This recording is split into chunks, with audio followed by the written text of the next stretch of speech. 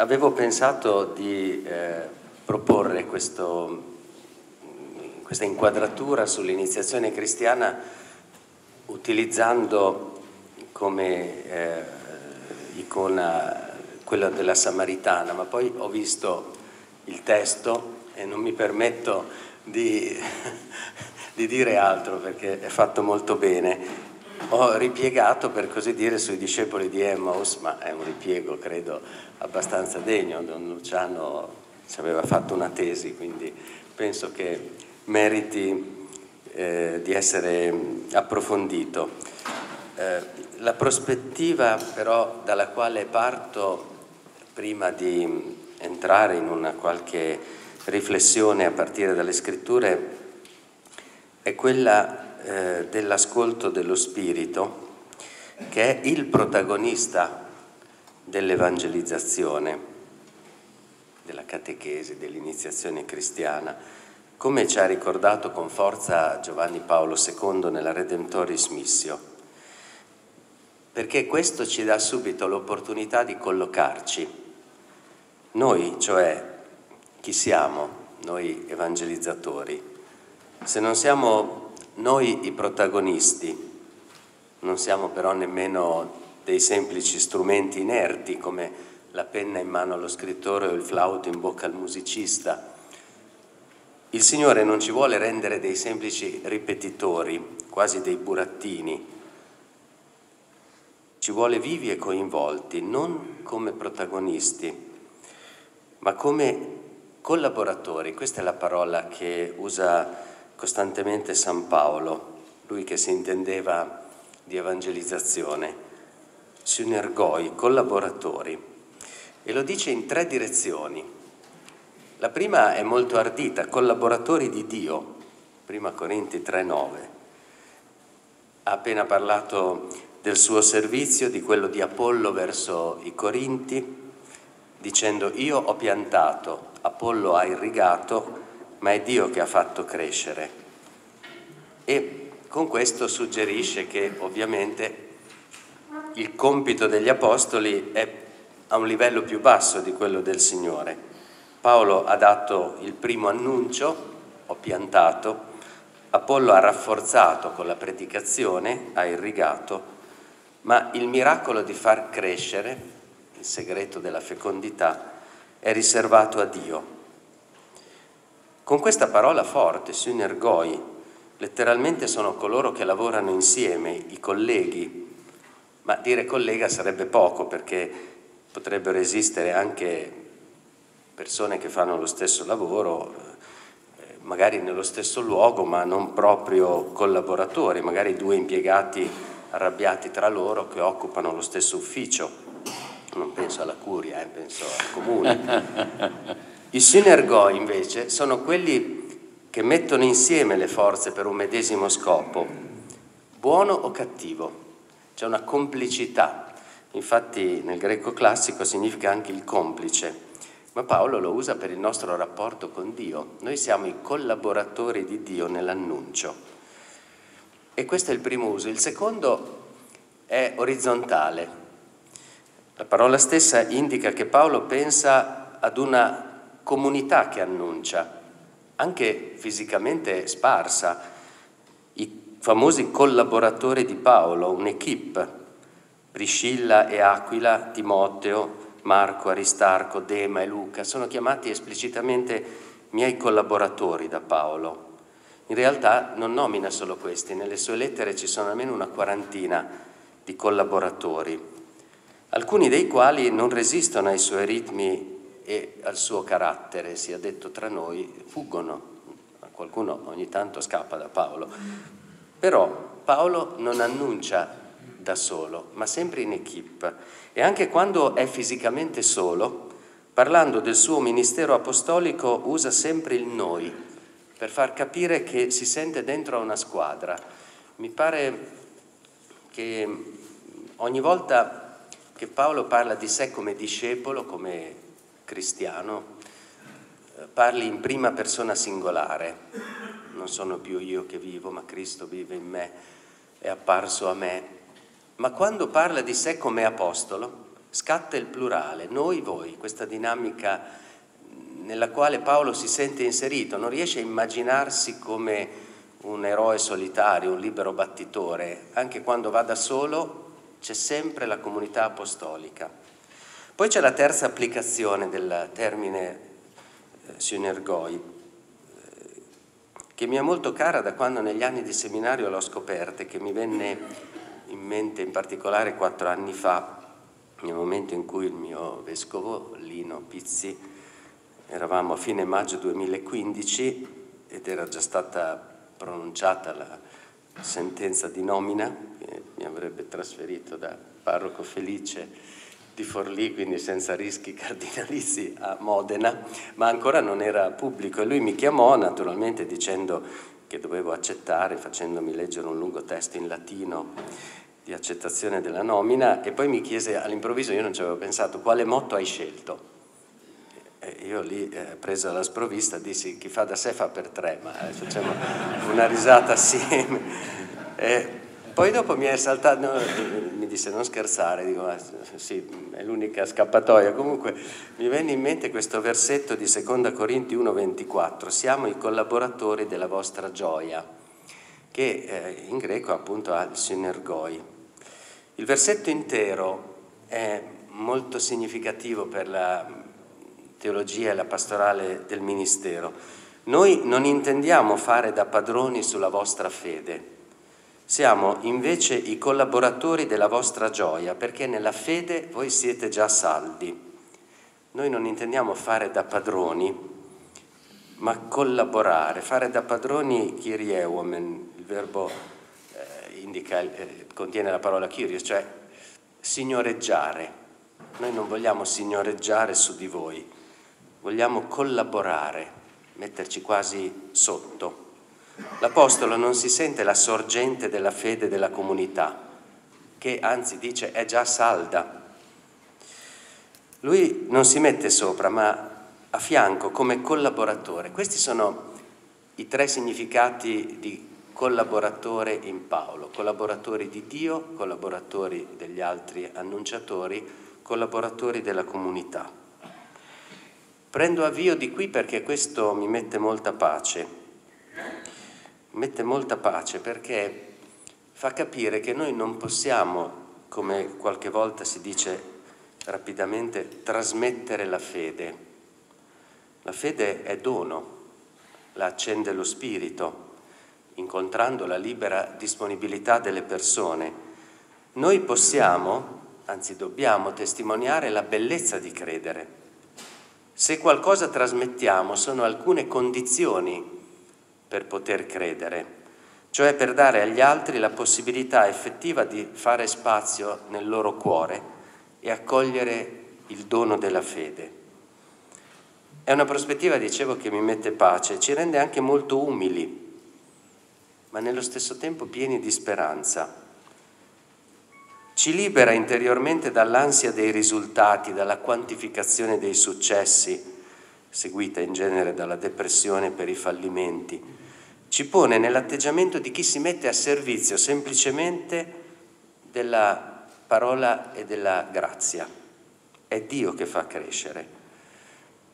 Fatta questa lunga premessa, che però mi pare essenziale per evitare l'affanno pastorale e la ricerca delle facili ricette, Seguo un'altra immagine, questa volta non, non agricola come Paolo, ma gastronomica, immagine della torta. Vorrei paragonare l'esperienza cristiana a una bella torta, un'immagine pericolosa man mano che ci avviciniamo all'ora di pranzo, ma ci aiuta a capire che ci sono degli ingredienti fondamentali, che ci sono dei cuochi che la preparano e che ci sono anche degli strumenti, le stoviglie per poterla cuocere, cioè c'è una, qualcuno che annuncia, ci sono degli elementi fondamentali dell'annuncio e ci sono degli strumenti dell'annuncio. Chi annuncia? Chi sono i cuochi di questa torta e anche i camerieri? Noi da 50 anni ormai, primo documento base eh, del 70, postava la catechesi rinnovata dopo il concilio, Diciamo e ripetiamo giustamente che il soggetto dell'annuncio della fede è l'intera comunità cristiana. Potrebbe sembrare astratto dire che è l'intera comunità educare alla fede, perché poi ci serviamo comunque di persone dedicate. E questo è il tempo in cui si riapre la caccia nelle parrocchie ai catechisti. Almeno io quando ero parroco, in genere tra fine cominciavi ad adocchiare in agosto e poi cominciavi a martellare all'inizio di settembre. Ora dobbiamo tenere presente che le persone dedicate ci vogliono, ma è l'intera comunità che annuncia, che inizia la fede. In un certo senso dobbiamo eliminare eh, il catechista, però intendetemi bene, non andate a casa a dire questo. Eh, eliminare il catechista come delegato unico, quasi che eh, dovessimo addossare a una sola persona o a due, a seconda dei gruppi, tutta la responsabilità. Dobbiamo moltiplicarla, cioè diventare coscienti del fatto che lo si voglia o no, la persona che viene iniziata alla fede, soprattutto penso ai piccoli, ma anche agli adulti, riceve la testimonianza da una pluralità di figure educatrici nella comunità, non solo i presbiteri, i diaconi, i ministri, ma anche i laici che sono impegnati nei vari ambiti, che girano in parrocchia, le persone consacrate, tutti educano alla fede, di fatto, secondo le proprie caratteristiche, per esempio una cosa è l'animatore della liturgia, del coro, un'altra è il lettore, il ministro della comunione, ma tutti educano la fede, compreso il capo scout, l'educatore di azione cattolica, i responsabili dell'oratorio e del doposcuola, l'allenatore, che è sempre al top della considerazione dei ragazzi, gli operatori del Caritas, ma anche per esempio le persone malate alle quali fare visita, i poveri, le persone fragili che non mancano mai nelle nostre parrocchie. Questo è il volto di una comunità che si presenta a chi si affaccia per essere iniziato. E non possiamo pensare che il catechista abbia l'appalto del 100% dell'iniziazione, perché il bambino, il ragazzo, l'adulto vedono tante altre figure e si fanno un'idea della Chiesa complessiva. L'esperienza cristiana, per chi vi si affaccia, ha il volto dell'intera comunità cristiana è nel contatto vivo con la comunità cristiana che le persone iniziate alla fede possono ricevere una testimonianza, un impatto positivo o meno. Incontro diverse persone nelle parrocchie che mi dicono, io non mi ricordo niente del... mi ricordo però che c'era la sorella del parroco, qui io tremo, eh, perché qualcuno dice che ci cacciava via, qualcuno dice no, ci apriva la porta, ci faceva giocare la sorella del parroco non sapeva di essere iniziatrice alla fede, ma lo è stata. Pensando alle nostre comunità, credo che la domanda fondamentale che ci riguarda sia questa, che impatto ha l'intera comunità con tutti quelli che chiamiamo operatori pastorali, tutte le persone che partecipano, l'assemblea domenicale, su coloro che si affacciano? Ha un impatto positivo o negativo, ha un impatto di grande attivismo, organizzazione fredda, ha un impatto invece di accoglienza, ha un impatto di isteria, può succedere anche questo, no? ha un impatto di chiacchiericcio dell'azione, critiche malevole, perché questa è catechesi o controcatechesi. Prima eh, Don Matteo leggeva il brano di San Francesco. Tra eh, i, i, frati eh, nominati c'è frate Giovanni eh, per la sua robustezza fisica e spirituale. Ora questo frate Giovanni era nel, a un certo punto nel convento di Firenze. E eh, se guardate le fonti francescane attorno al numero 769 se non ricordo male, c'è questo episodio. Francesco eh, è una sezione dedicata alle critiche malevole, al, al chiacchiericcio alle spalle. Eh, dice, è la, direi che è la vita seconda di Tommaso da Celano, dice che eh, nulla irritava padre Francesco come eh, le critiche malevole dei frati, fra di loro, alle spalle, no? il chiacchiericcio. lo riteneva come un veleno per la comunità e narra di questo episodio che un frate in Umbria eh, cominciò a fare la linguaccia, insomma a parlare male di tutti gli altri frati ingiustamente e Francesco stabilì questa cura, lo fece portare al convento di Firenze da frate Giovanni che era soprannominato anche il pugile di Firenze, il quale lo pestò ben bene poi fece un po' di convalescenza e ritornò a casa. E il commento di Francesco è forse così capirà la gravità di quello che ha fatto. Eh, quindi sì, forse anche per questo ammirava la robustezza di frate Giovanni. Certo, nelle nostre comunità non possiamo istituire questa mm, pratica, però, però a volte verrebbe la voglia perché si perde tanto tempo nel parlarsi dietro, nel criticarsi, nel lamentarsi. È vero, c'è anche un diritto al lamento, ma eh, deve essere incorniciato nell'apprezzamento. Eh, San Paolo dice gareggiate nel lamentarvi a vicenda, no, nello stimarvi a vicenda. E beh, insomma, qui è un po' un punto che credo che le nostre comunità debbano essere consapevoli che questi climi vanno superati perché altrimenti vanifichiamo ogni proposta di iniziazione cristiana, se inserita in un contesto eh, malevolo di critica, di lamento continuo.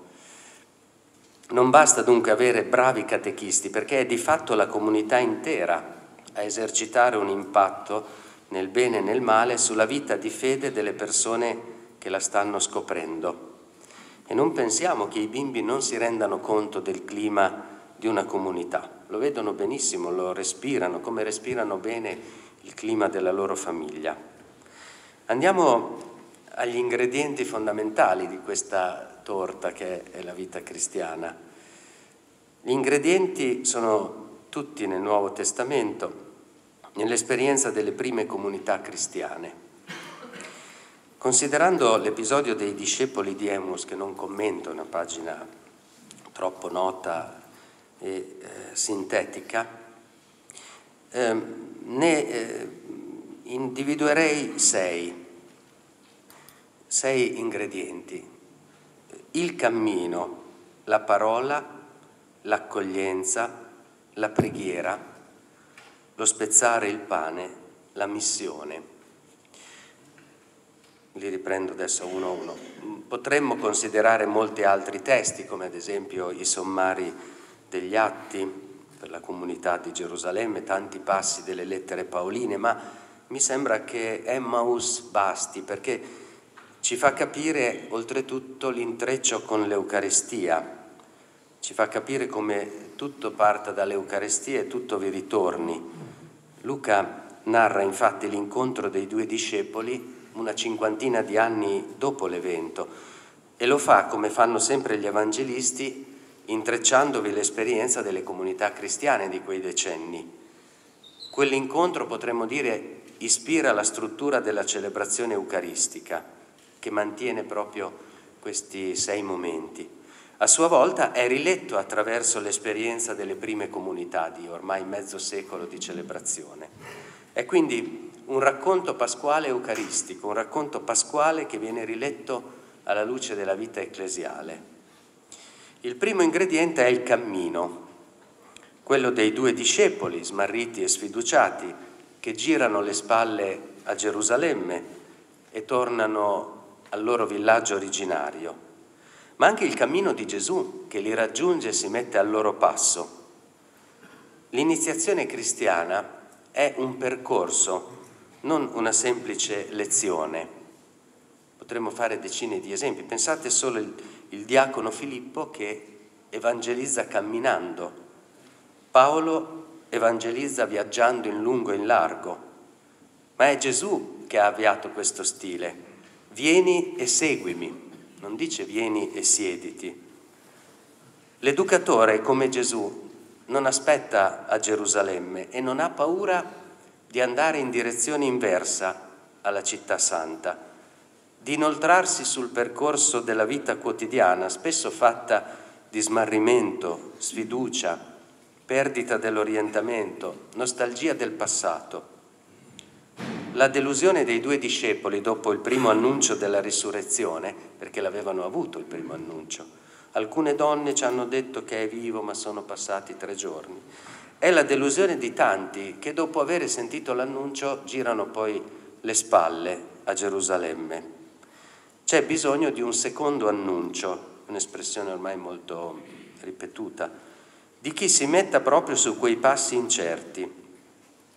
E mi colpisce che Gesù non forzi il loro passo, ma, dice Luca, si avvicinò e camminava con loro. Non li invita a tornare indietro, nemmeno accelera il ritmo del cammino. Senza unirsi alle loro lamentazioni vi si innesta e li accompagna. Gesù non ha l'ansia di portare subito alla meta, ma ha la cura di accompagnare il percorso. Uno stile di catechesi e di annuncio ambulante ci viene ormai chiesto oggi. Vieni e seguimi, non vieni e siediti uno stile molto più difficile di quello cattedratico, statico, che chiede una preparazione culturale sufficiente ma non la fatica di mettersi in viaggio. Il secondo ingrediente è la parola. Gesù non attacca il discorso con una risposta, ma con una domanda. È lui che parte. Che cosa sono questi discorsi che state facendo tra voi lungo il cammino? e poi li lascia parlare a lungo prima di rispondere e annunciare la Pasqua secondo le scritture. Gesù non ha nemmeno l'ansia di dare subito la risposta, ha la cura di coltivare la domanda. E di nuovo dobbiamo dire, è molto più difficile per un educatore, un catechista, imparare ad ascoltare e innestare l'annuncio sul racconto dell'altro, che non proporre subito la propria risposta. A volte le nostre risposte non incidono perché non incontrano le domande, le fatiche, le attese. Il fatto che Gesù annunci la Pasqua vada al nocciolo della questione, che è il cherigma, indica poi una gerarchia delle verità cristiane. Come scrive Papa Francesco in Evangelii Gaudium, occorre riportare l'annuncio al suo nocciolo, l'incontro con Gesù morto e risorto e di dedurre pian piano anche lì, di lì gli altri contenuti della fede e le esigenze della vita morale. Papa Bergoglio cita spesso questo passaggio della prima enciclica di Papa Ratzinger, Deus Caritas Est numero 1. All'inizio dell'essere cristiano non c'è una decisione etica o una grande idea, bensì l'incontro con un avvenimento, con una persona che dà alla vita un nuovo orizzonte e con ciò la direzione decisiva. Il nucleo del cristianesimo, già dalle origini, non è una speculazione nuova su Dio e nemmeno il completamento di un catalogo di norme o di comandamenti. Queste sono le conseguenze. Il nucleo è un incontro con una persona viva, è una relazione. Il cristianesimo nasce come piccola storia, il cherigma originario è questo, il crocifisso è risorto, anzi Dio l'ha risuscitato, proprio alle origini, alle origini non capivano neanche cosa voleva dire. Gesù è vivo, Dio l'ha risuscitato, il crocifisso è di nuovo vivo. Poi pian piano, come una, una valanga no? che inizia con una palla di neve, pian piano questo cherigma si arricchisce. I, i, i papi ci chiedono eh, di recuperare il nucleo. La presentazione completa delle verità cristiane e delle sue implicazioni etiche è necessaria ma deve essere graduale, richiede pazienza. Va fatta curando sempre il legame con l'evento Gesù, perché in una cultura così pluralista e frammentata l'insistenza sugli aspetti derivati eh, rischia di apparire campata per aria, di provocare rifiuto anziché interesse. L'antropologia cristiana deve essere testimoniata e comunicata anche attraverso esperienze significative. Tutto ciò che riguarda la vita umana, la famiglia, l'educazione, la pace, la giustizia, il rispetto per il creato, cioè i capitoli fondamentali dell'antropologia cristiana. Tutto questo fa parte dell'annuncio cristiano, ma potrà incidere davvero se risulterà innestato nel nucleo, nel mistero pasquale di Gesù e derivante da esso.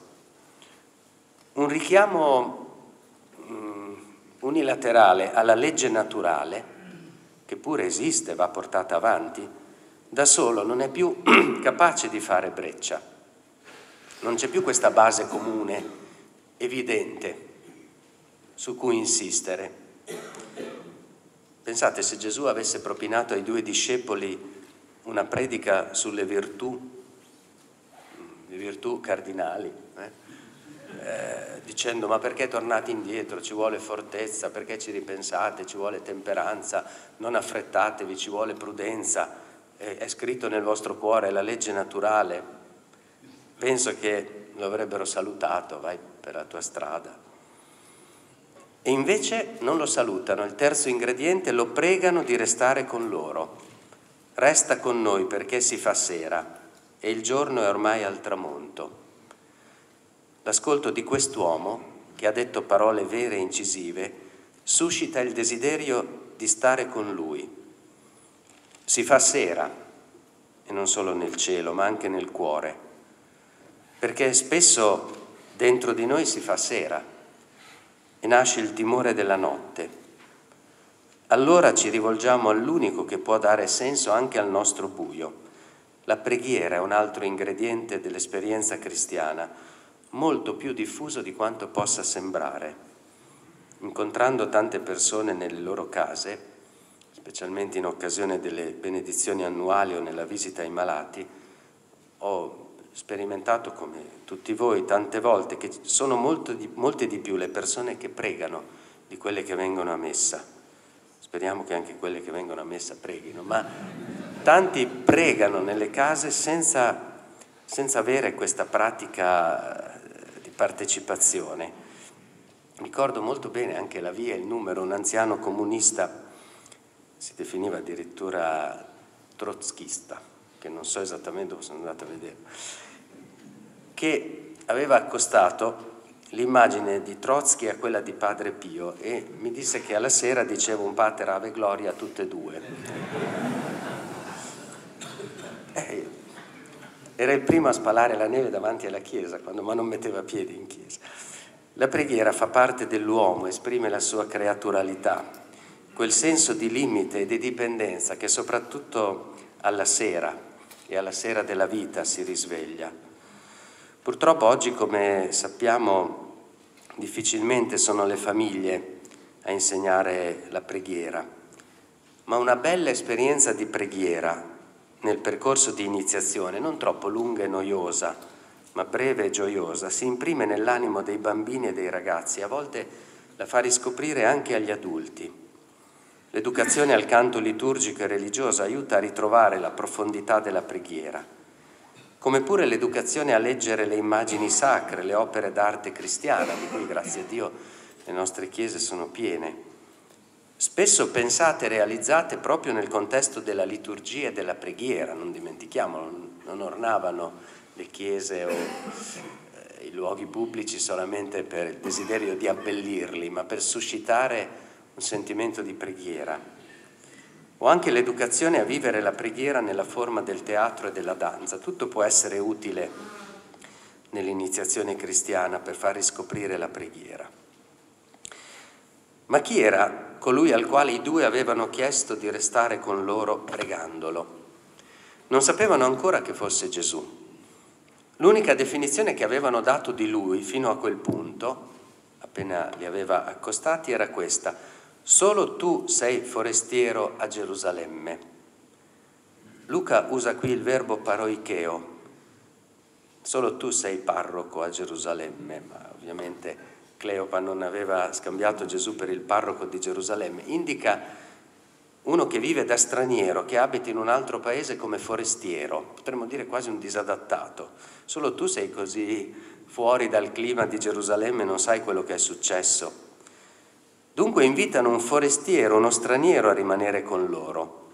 Il quarto ingrediente dell'iniziazione cristiana è l'accoglienza.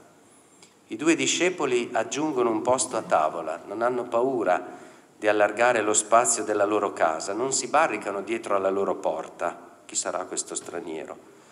Hanno intuito, sentendo parlare Gesù, che quello straniero può solo arricchire la loro vita. Hanno capito, senza forse averlo sentito da Gesù, quello che aveva detto alla fine del Vangelo di Matteo. Ero straniero e mi avete accolto. L'esperienza dell'essere accolti e dell'accogliere è uno degli elementi fondamentali, un ingrediente importante del, dell'iniziazione, è come la farina, amalgama tutto. Molti di quegli adulti che si accostano o riaccostano alla fede, oggi si parla molto dei ricomincianti, lo fanno perché si sono sentiti accolti e non respinti, accompagnati e non giudicati, presi per mano e non segnati a dito. Se è possibile ottenere qualcosa da chi ci appare più lontano dall'esperienza cristiana, non è certamente etichettandolo, ma accompagnandolo. Penso a quante persone riscoprono una Chiesa diversa nel percorso di preparazione al matrimonio, i cosiddetti percorsi dei fidanzati, però hanno già tre figli, sono già nonni, insomma, però è il percorso dei fidanzati, ma non trovano nelle nostre chiese una cattedra che li giudica, trovano una comunità che li accoglie, che si innesta su quello che, che possono dare. Penso anche alle persone che vengono a chiedere un certificato, che se trovano un sorriso del parroco o di chi in quel momento è presente, anziché una domanda fredda a cosa serve il certificato, forse non dico che questi siano gesti che convertono, però danno un'immagine di chiesa diversa. E la stessa cosa vale per i piccoli. La parrocchia dovrebbe essere la loro seconda casa, sopportando anche qualche pianto a messa, qualche urlo di troppo in canonica, ma soprattutto vanno aiutati a scoprire nel cammino di iniziazione il senso del servizio verso chi è svantaggiato. Lì possono imprimersi l'accoglienza nel cuore. A me è rimasto impresso della mia formazione catechistica infantile, parlo di 50 anni fa, da parte di un parroco che non era certo al passo coi tempi, la cura di farci vivere esperienze di servizio verso le persone meno fortunate, più povere, più marginali. Ad esempio ci portava la domenica pomeriggio, prima ci proponeva il film western in genere, poi c'era il rosario e le litanie e la benedizione tutto in latino, e poi se eravamo stati bravi il gelato, e poi spesso ci portava nelle case dei malati, concordando con loro, oppure da Forlì il tragitto era facile, Santa Teresa di Ravenna, l'istituto, no? eh, ci faceva visitare un reparto, incontrare le suore, oppure ci importava a incontrare qualche persona, ci fece incontrare Annalena Tonelli, per esempio, la mamma di Benedetta Bianchi Porro, approfittando delle situazioni che si creavano. Parroco che andava sempre in veste, se sentiva una parolaccia spelleva dal gruppo chiedeva la preghiera in latino, però aveva questa attenzione. Io credo che esperienze di servizio e di carità proporzionate all'età dei bambini, parlo proprio del, dei bambini, eh, parlo dei giovani, già dai, dai, da bambini, sulle quali poi riflettere assieme, siano iniziazione cristiana allo stato puro. Terminato finalmente quel cammino di 11 chilometri a tavola, prese il pane, recitò la benedizione, lo spezzò e lo diede loro. Allora si aprirono loro gli occhi e lo riconobbero. Si fa riconoscere nello spezzare il pane, nel rito eucaristico e questo è il focus dell'episodio, è il momento di svolta, il perno che rovescia tutta la scena e la rende nuovamente dinamica, rimettendo in moto i due discepoli. Strano, che fino ad allora non l'avessero riconosciuto. Ma evidentemente Gesù si fa conoscere pienamente solo quando si spezza, quando si presenta nella forma del dono, quando si fa pane, quando si sbriciola per noi. L'esito del cammino di Gesù è il suo offrirsi, questa è la meta. E infatti sparisce. Non aspetta nemmeno che loro credano, che professino la fede, ha terminato il suo annuncio, questo annuncio è diventato pane spezzato e sparisce. Il traguardo dell'educatore cristiano è che la parola diventi pane, che i discorsi lasciano spazio alla vita, che il dialogo diventi testimonianza. Quando parla la sua vita, l'educatore ha davvero dato tutto. Si vede bene che il catechista o la catechista non è una figura solitaria, ma è una pluralità di persone. Chi può offrire da solo una testimonianza integrale? Fa parte dell'iniziazione cristiana l'incontro con tante testimonianze le testimonianze dei santi, degli amici di Dio, le testimonianze dirette di persone viventi che abbiamo in tutte le nostre comunità, che nel loro quotidiano, senza eroismi o miracolismi, cercano di vivere la fede, in famiglia, al lavoro, in ospedale. Le testimonianze di luoghi e fatti che parlano di Vangelo. E ogni diocesi ha tanti luoghi che parlano di Vangelo. Ciascuna parrocchia e ciascuna diocesi può fare incontrare persone, luoghi ed esperienze di fede ai piccoli e ai grandi, cioè tradurre la parola in vita, incarnata in qualche esperienza. L'ultimo ingrediente è la missione, non l'ultimo per importanza, anzi è l'anima dell'intero racconto di Emmaus, composto potremmo dire da due viaggi missionari di 11 km ciascuno. Il primo è il viaggio di andata, da Gerusalemme a Emmaus, segnato dall'amarezza dei discepoli e dall'accompagnamento di Gesù. Il secondo è quello inverso, segnato dalla scomparsa di Gesù e dalla gioia dell'annuncio. Il primo è la missione di Gesù, il secondo è la missione della Chiesa. Perché Gesù sparisce subito quando ha spezzato il pane? Perché non si sottopone a qualche domanda? Ne avranno avute tante i due o non dà una parola, un mandato, un conforto. Credo perché vuol far capire che la Chiesa non deve fare cerchio attorno a lui, come sarebbe inevitabilmente avvenuto se fosse rimasto lì, ma deve uscire, annunciare la bellezza che ha sperimentato. La Chiesa esiste per evangelizzare, diceva già Paolo VI nell'Evangeli Nunzianti, esiste per l'annuncio la ripresa del cammino in piena notte, cosa strana, soprattutto per degli ebrei, magari anche stanchi dal viaggio di andata, fa capire che non c'è un tempo ideale per la missione. Anche la notte è tempo di missione. E l'incontro con esperienze missionarie e la pratica di piccole missioni sul territorio fa parte dell'iniziazione cristiana. Educare all'incontro con gli altri non è sinonimo di relativismo, ma di missione perché la missione cristiana, come ripeteva Papa Giovanni Paolo II, è fatta insieme di dialogo e annuncio. Ho quasi completato la torta, devo solo ricordare che tutti e sei gli ingredienti si collocano dentro la celebrazione eucaristica, che è fonte e culmine, ed è culmine e fonte in tutte e due le direzioni, dell'intera vita cristiana. L'esperienza vissuta delle nostre comunità altro non è se non la dilatazione dell'Eucarestia domenicale e la preparazione dell'Eucarestia successiva. Ogni messa è una piccola Emmaus, l'incontro con la Pasqua di Gesù. La pastorale è tutta concentrata potenzialmente nella celebrazione eucaristica. La celebrazione eucaristica ci fa rivivere in un'ora gli ingredienti fondamentali della nostra vita di credenti. Come primo gesto infatti chiediamo perdono riconoscendo di girare spesso le spalle a Gerusalemme e abbandonare il Signore, sfiduciati. Poi veniamo avvicinati da Lui, che si mette al nostro passo e nella liturgia della parola ci fa capire quanto ami ciascuno, come la vita sia sempre accompagnata da Lui. Nella preghiera dei fedeli gli ripetiamo che resti con noi perché si fa sera e il tramonto del dubbio e del dolore stende la sua ombra su di noi. Nell'offertorio rinnoviamo la disponibilità ad accogliere lo straniero, Gesù, e in lui ogni persona svantaggiata e lasciata ai margini. Nello spezzare il pane della consacrazione e della comunione i nostri occhi si aprono, perché riceviamo il sacramento dell'amore che dona uno sguardo profondo sugli altri, ci abitua a vederli non come concorrenti, ma come amici. E alla fine della messa siamo spinti a riprendere il cammino, per annunciare anche agli altri la bellezza di credere in Dio.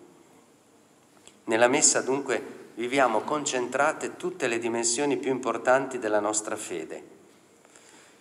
L'iniziazione cristiana non è perciò primariamente la spiegazione della messa, ma l'esperienza della messa che va spiegata un po' alla volta.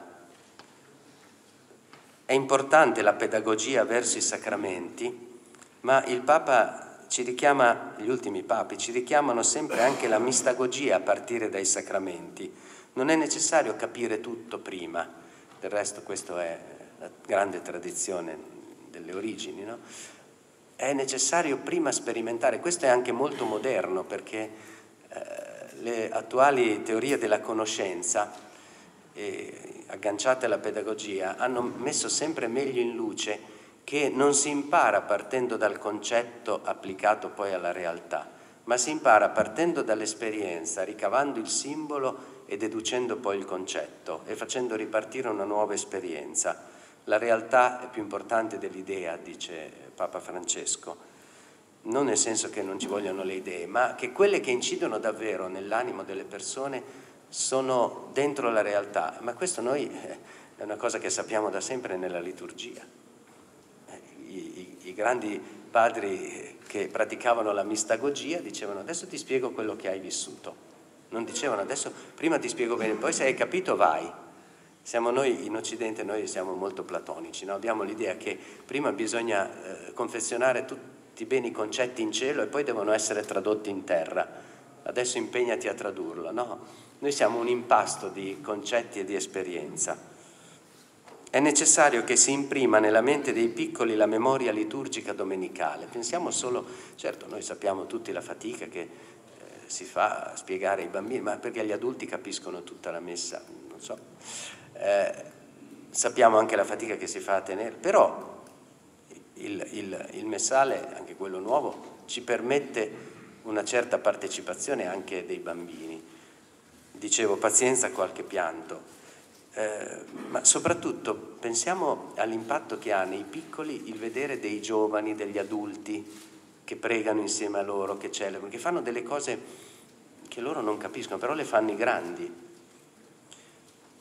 Eh, dobbiamo anche nella liturgia essere creativi dentro, dentro, quello che ci chiede la Chiesa, perché se uno applicasse bene il messale non avrebbe bisogno eh, di canovacci teatrali, no? lì c'è tutto. Per essere i collaboratori della gioia e non della noia. Eh, qualche volta non so, credo che tutti i vostri parrocchiani uscendo da messa dicano non ci ardeva forse il cuore mentre con, ci spiegava le scritture, però eh, a Modena non è sempre così, no? Allora, ultimo, una parola, veramente una parola, eh, finale, oh, sono già le 11, non so, 5, 4 minuti, su quelli che normalmente vengono chiamati aspetti pratici, che però credo siano più da vedere come strumenti, perché la vera pratica è quello che ci dice il Vangelo.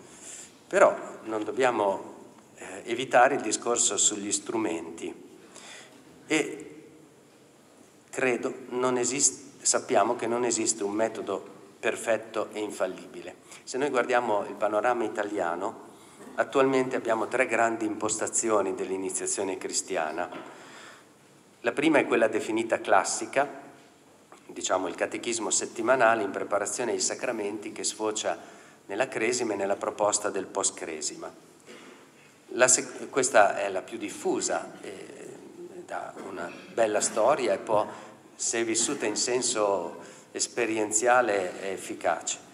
La seconda è chiamata catecumenale, prevede dei percorsi di preparazione alla cresima e all'Eucarestia ricevuti contemporaneamente o quasi, prima di solito la cresima e poi eh, l'Eucarestia, seguiti da un successivo tempo di mistagogia. In alcune diocesi, specialmente Lombardia e Veneto, hanno sperimentato questa forma. La terza è il metodo dei quattro tempi, diffuso soprattutto in Veneto e in Emilia-Romagna, che eh, cerca di coinvolgere in modo particolare le famiglie, affidando una settimana il catechismo alle famiglie, la settimana dopo si fa ai genitori, quella dopo ai bambini. Credo che ogni metodo, ne esistono tanti altri derivanti dall'intreccio di questi, abbia i suoi pregi e i suoi limiti e che spetti prima di tutto alle chiese locali dare degli orientamenti e poi alle singole comunità eh, coniugarli secondo la situazione del luogo. Eh, sarà importante probabilmente, almeno questo, siccome anche noi a Modena facciamo lo stesso percorso sull'iniziazione, ho visto che è importante accordarsi su alcune tappe, anche sulla famosa età della cresima. Eh, noi abbiamo situazioni dove in una parrocchia si fa in quinta elementare, in quella vicina in prima superiore e allora si verifica il fenomeno delle migrazioni catechistiche. Eh, stranamente tutti i ragazzi eh, della seconda parrocchia hanno degli amici più cari nella prima e quindi non possono non fare la cresima in quinta elementare. Eh, se non altro per questo, perché si crea un po' di confusione, allora forse un po' di accordo su questo. Viste le prospettive che stanno maturando nella Chiesa italiana, spero comunque che gradualmente si possa decongestionare la questione cresima e post-cresima fino addirittura a eliminare l'espressione post-cresima, perché tutto quello che è post, il post-moderno, eh, il post-giovane, eh, sa un po' di decadente. Il problema ovviamente non è il linguaggio, ma è il capire che ci sono delle tappe e che la parrocchia le propone in continuità l'una con l'altra e che non impegna il 99% delle energie sul prima e poi finalmente siamo liberi e chi vuole continua, ma c'è un percorso senza soluzione di continuità. È importante ragionare intanto non solo su quanti rimangono in parrocchia dopo la cresima, più o meno la percentuale è quella apostolica, Gesù parte con 12, ne rimane uno sotto la croce, no? più o meno, ma anche e soprattutto su come escono, come escono dall'esperienza della cresima che ricevono io ho visto un ragazzo in una parrocchia di Modena che pensava che non l'avessi visto perché ero già uscito dopo la cresima dalla chiesa, lì è, la cresima in terza media, si vede che già sono un po', che si toglieva la camicia sotto aveva una maglietta con scritto bye bye parrocchia, che è abbastanza significativo, no? Gli ingredienti proposti comunque ce li abbiamo già, non c'è bisogno di andare su Amazon e ordinarli.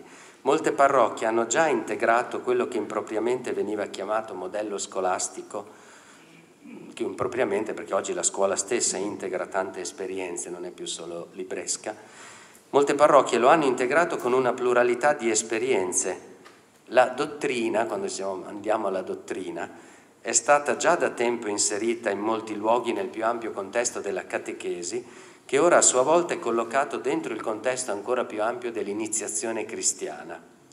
In altre parole, se un tempo la sostanziale omogeneità di valori che il bambino respirava negli ambienti educativi, famiglia, scuola, parrocchia e anche sport, poteva giustificare la concentrazione dell'iniziazione cristiana nella dottrina, perché il resto lo respirava anche altrove, oggi la rottura dell'alleanza tra famiglia, scuola e parrocchia e l'ingresso di ben altri fattori in gioco, come quelli offerti dal web, rendono ancora più necessario integrare la sola lezione dottrinale dentro una pluralità di ingredienti, tenendo presente, come dicevo, che la teoria è più efficace e incisiva quando viene dedotta dalla pratica. Un'idea entra più a fondo nell'animo del ragazzo se prima viene vissuta esperienzialmente e poi spiegata criticamente e confrontata con il Vangelo.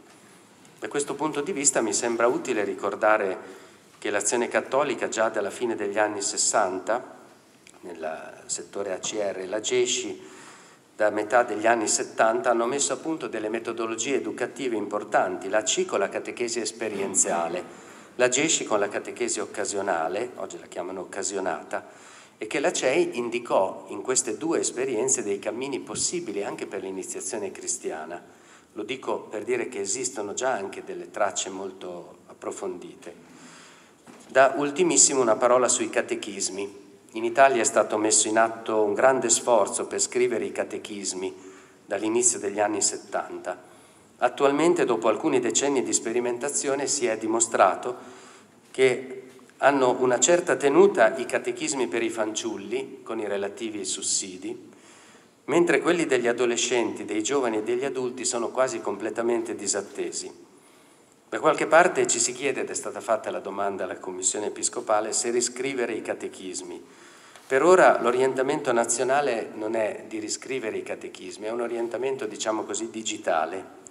Si sta ragionando in direzione di una piattaforma informatica nazionale che possa tracciare dei percorsi bene impostati, anche per evitare eh, le tendenze autodidatte o le necessità no, dei catechisti che vanno su eh, Maranatà, su eh, eh, che per carità Qumran 2, eccetera, sono importantissimi, però eh, lasciamo tutto il peso di nuovo ad alcuni, mentre se eh, si propongono dei percorsi sussidiati forse li si aiuta. Dei percorsi adattabili da parte delle diocesi, perché ogni chiesa locale può integrare con sussidi digitali e cartacei, cioè ciascuno di noi ha una propria storia, proprie figure di santità, propri luoghi che parlano, testimonianze da proporre, documentari, arte.